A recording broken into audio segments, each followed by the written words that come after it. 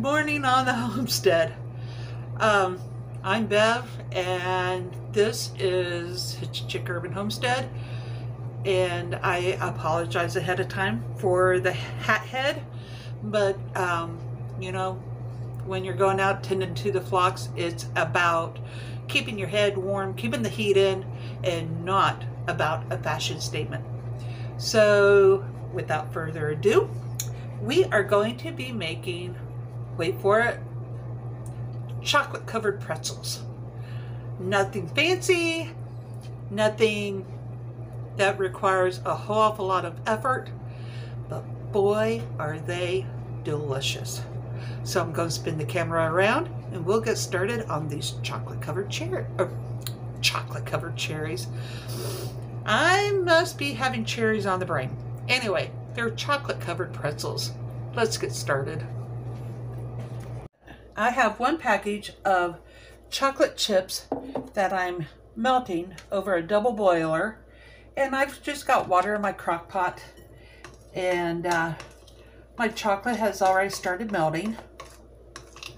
It'll take another few minutes before it's nice and melted completely. And to this,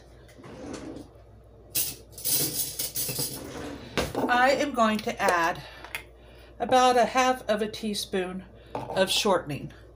And the reason I do that is to keep the chocolate nice and glossy and when it dries, it'll dry nice and shiny. And once the chocolate's all melted, I have a bowl of pretzels ready.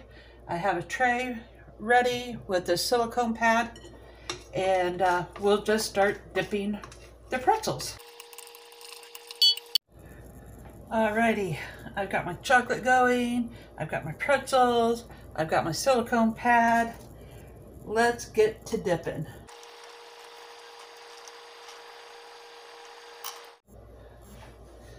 Okay, there's the first one.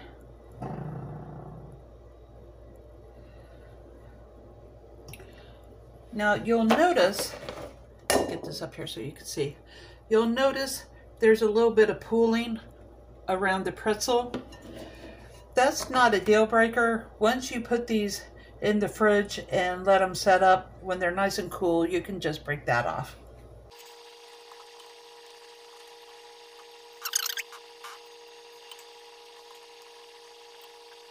So I'm not going to bore you with watching me stand here um, and dipping these pretzels.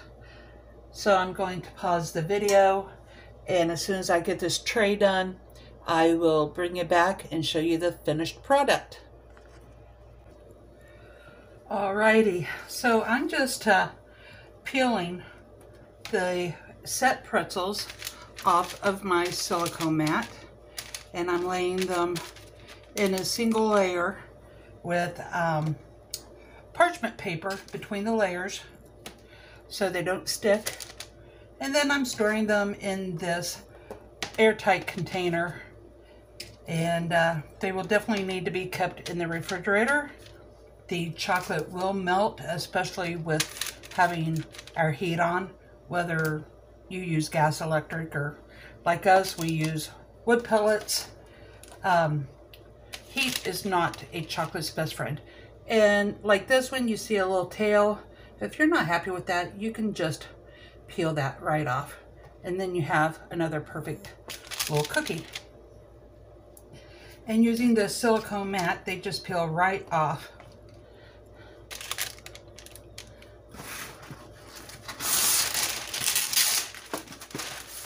Another layer of parchment or wax paper if you have it. I don't have any wax paper today, so I'm using parchment.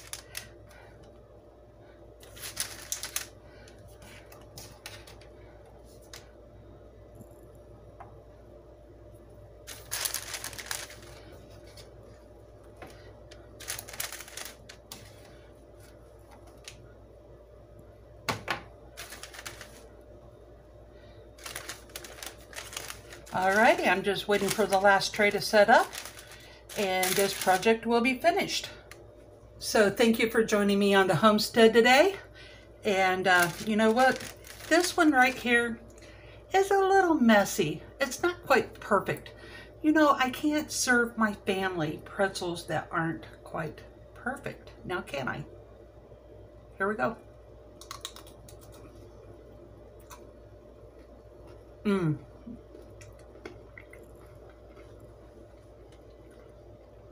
Only thing better than chocolate covered pretzels would be if I could figure out how to make pumpkin flavored pretzels. So thanks again for stopping by the homestead. I'm going to finish my pretzel, get my mess cleaned up, and I'll catch you later.